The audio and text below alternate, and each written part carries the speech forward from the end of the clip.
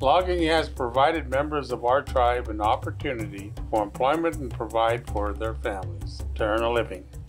When loggers was chosen, we actually took a couple of different options. One of the big things in the history of the Omak area is logging with the old mill, and then also the mills in on Disautel and Nespelem. So logging is a big part of our history here on the reservation.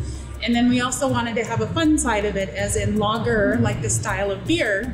Um, so it's a play on words. So we're super excited to introduce loggers because when we initially started the design work, we wanted something that was approachable and fun, that people could come together as a group and visit, enjoy some good food.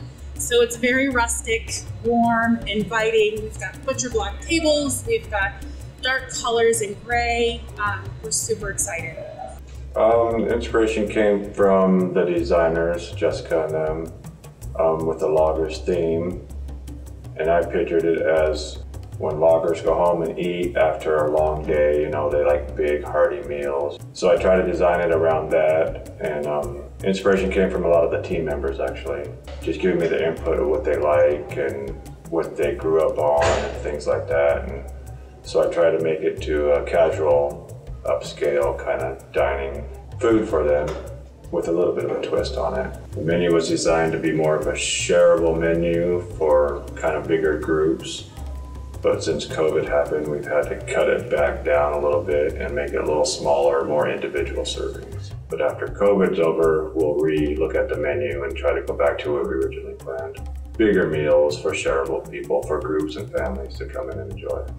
So far, um, with our food tastings and the openings we have for the team members, the feedback is getting with the ribs. They're really liking our bourbon barbecue ribs. Our bison burger that we make here is really popular, and the halibut and chips, uh, Parmesan crusted halibut chips. We wanted to take advantage of the great craft that we have in the local areas of brewers. So we are going to be introducing 10 Pin Brewery out of Moses Lake, Icicle Brewing out of Leavenworth, we have Tieton Cider House out of Yakima, and then we're also featuring Old School Brew House out of Winthrop. We're just super excited to have everybody it's introduce something new um, for the community as well as for um, our guests that come through the casino to stay with us at the hotel.